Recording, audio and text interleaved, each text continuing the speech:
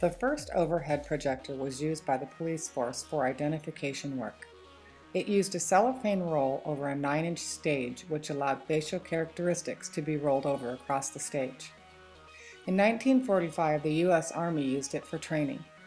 In the late 1950s and early 60s, it began to be widely used in schools and businesses.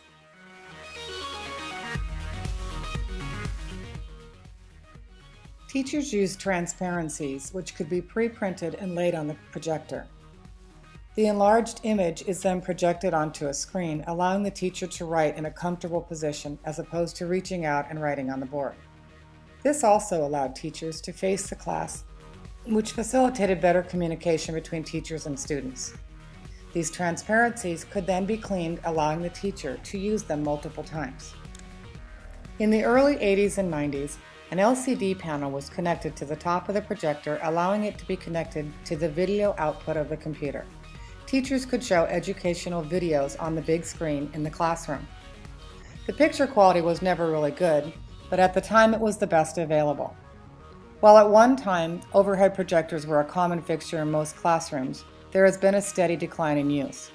The main reason for this decline is the increased use of computer technology in the classroom. While overheads were fairly good at displaying static images, they are not good for moving images. Hello smart users, Kyle here again, and in this video we're going to discuss how to incorporate the Smart Document Camera into your classroom. The Smart Doc Cam is a great addition to any classroom technology. It basically projects a real-time image of any object in front of its lens and can zoom in and zoom out depending on what you need. The camera head also rotates and can take still shots to display there's also a light on this smart document camera too, which allows you to see dimly lit or hard to see objects. Clearly it's a great device, but how do you use it to incorporate into your daily lessons, especially when you're already using the Smartboard Interactive Whiteboard? If anything, these two pieces of equipment work even better together. You can display an object with a smart document camera on the interactive whiteboard and then have students make notes on the projected image this allows you to reuse the original object while the students learn using the Smartboard Interactive Whiteboard. So this is just one example, but there are several other types of lessons that lend themselves very well to the DocCam. Some of those are demonstrations, investigations, and text projections. Demonstrating and modeling is a great use of the Smart DocCam, especially for lessons that require small but important steps. You can use the Smart Document Camera to show the steps on the interactive whiteboard and help your students understand the process. This kind of lesson is really useful for all subjects, but primarily for math concepts like geometry, shapes, and 3D units.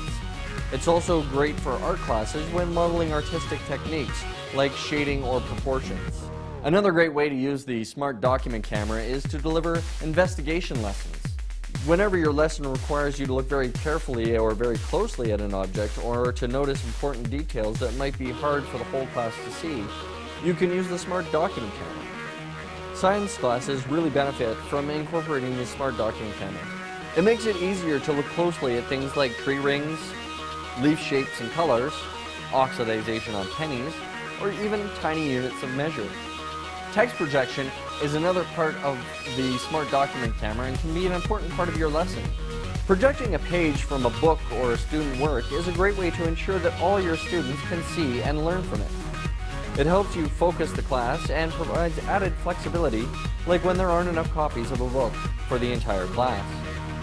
It builds accessibility into your lesson, especially for students with visual impairments and students learning a new language. The Smart Document Camera allows you to enlarge text and help students connect with what you're saying or what they're reading.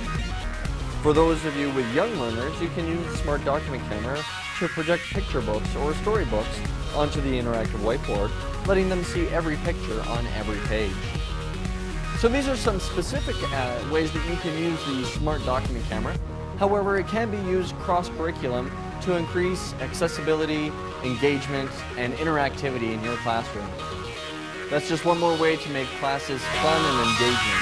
And teachers know a little innovation goes a long way. An interactive whiteboard is a recent technology that can be used in conjunction with document cameras. An interactive whiteboard is a large interactive display that connects to the computer and the projector. The projector projects the computer's desktop onto the board surface where users can control the computer using a pen or their finger. The board is typically mounted to a wall or floor stand so that images may be projected on the interactive whiteboard surface.